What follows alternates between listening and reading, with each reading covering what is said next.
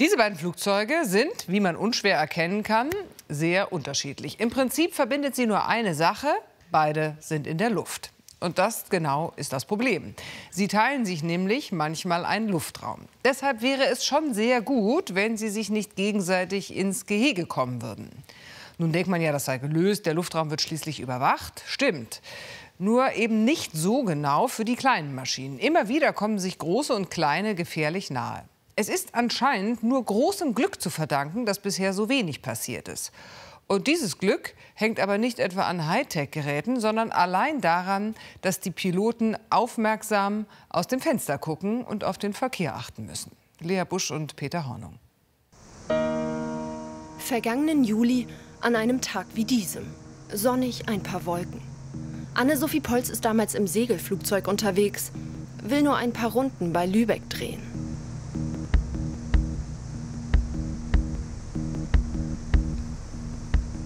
Ich fliege so auf dem Weg zu so einer nächsten kleinen Wolke, die sich da so gerade bildete.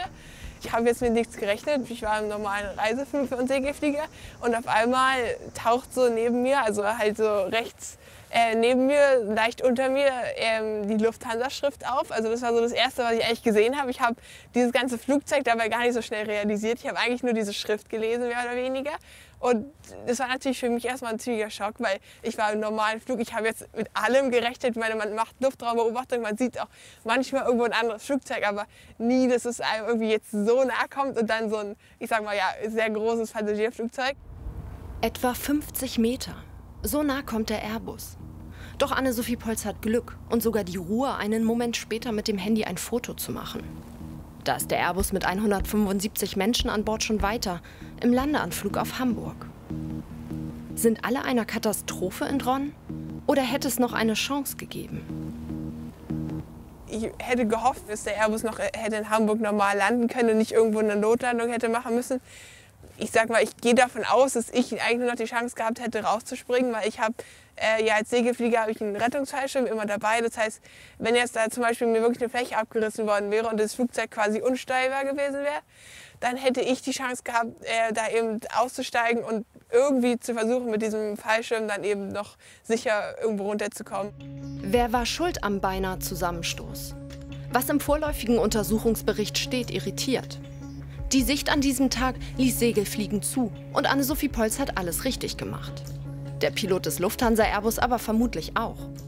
Beide durften den Luftraum nutzen. Trotzdem wären sie fast zusammengestoßen. Wie kann das sein? Über kaum einem anderen Land in Europa ist es so voll wie über Deutschland. Das führt zu Problemen im sogenannten gemischten Luftraum. Insbesondere im An- und Abflugbereich von Verkehrsflughäfen haben wir eben an- und abfliegende Verkehrsflugzeuge, wo die Urlauber in den Urlaub fliegen wollen. Und auf der anderen Seite haben wir eben Privatflieger, die möchten im Umkreis von einer Stadt fliegen, die möchten sich die Landschaft von oben aus anschauen. Und da haben wir zwangsläufig bestimmte Konfliktpunkte, Kreuzungspunkte, wo sich die Verkehrsflugzeuge und die Privatflieger in die Nähe kommen. Frankfurt Flughafen. Pilot Felix Gottwald fliegt seit über zehn Jahren große Verkehrsflugzeuge. Für ihn und seine Kollegen sind An- und Abflüge durch den gemischten Luftraum oft Stress pur. Denn dort in der weiteren Umgebung von zahlreichen Verkehrsflughäfen dürfen auch Hobbypiloten unterwegs sein. Wenn wir im gemischten Luftraum fliegen, äh, sind wir trotzdem immer noch relativ schnell, ungefähr so 500 km/h. Das heißt, wir haben circa 10 bis 12 Sekunden Zeit, um ein anderes Flugzeug zu sehen und zu reagieren. Das reicht also von äh, Stecknadel, großes Flugzeug irgendwo am Horizont, irgendwo in den Wolken, bis das Flugzeug schlägt ein. Und das ist natürlich nicht ganz adäquat, weil äh, wir brauchen äh, allein zwei, drei Sekunden, um zu realisieren, wie die Situation ist, bis wir dann uns entschieden haben, was wir machen, bis das Flugzeug sich bewegt. Da sind die zehn Sekunden schon wieder um. Und dass wir ein anderes Flugzeug erkennen am Himmel, das ist relativ unwahrscheinlich. Das Kollisionswarnsystem von Felix Gottwald würde bei einigen kleineren Flugzeugen meist nicht anschlagen. Anne-Sophie Polz in ihrem Segelflugzeug war also für seinen Kollegen, den Airbus-Piloten, fast unsichtbar. Es gibt halt Flugzeuge, die haben Transponder. Ähm, die sehen wir bei uns auf dem Navigationsdisplay. Und äh, da können wir dann schon ein bisschen langfristiger planen. Da kann auch der Fluglotse koordinieren. Aber für alle anderen ist es sehr schwierig, gerade Segelflugzeuge, die eben keinen Transponder haben und ultraleicht. Und ähm, da können wir nur rausgucken. Rausgucken. Um bei knapp 500 Stundenkilometern einen Zusammenstoß zu vermeiden? Ja, denn im Moment gibt es keine andere Lösung.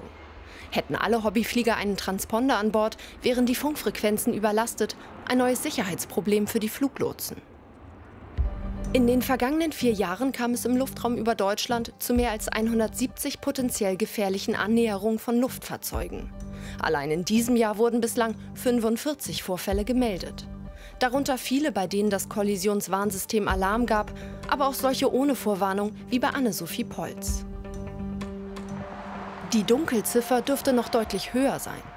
Denn Meldungen landen bei verschiedenen Stellen, Viele Zwischenfälle werden wohl gar nicht gemeldet, weil Piloten Angst vor Schuldzuweisungen haben.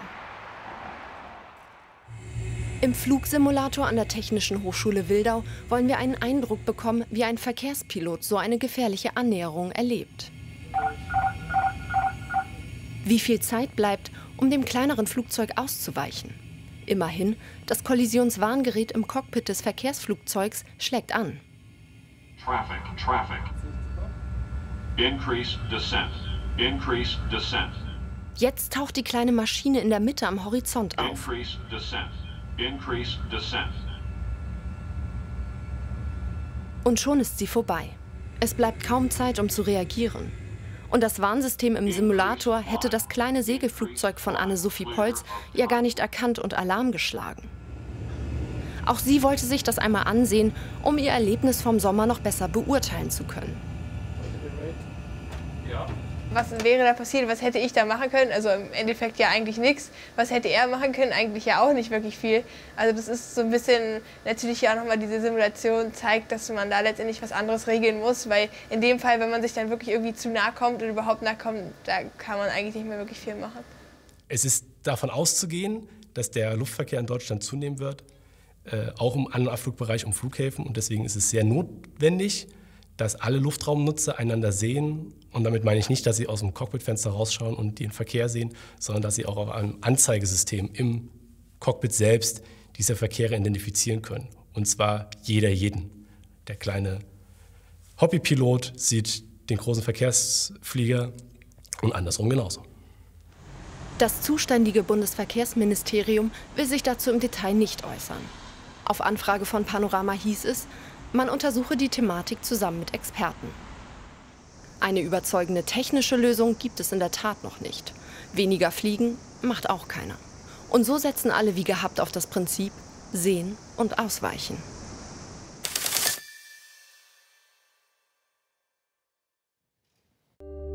Wir sind eins. ARD.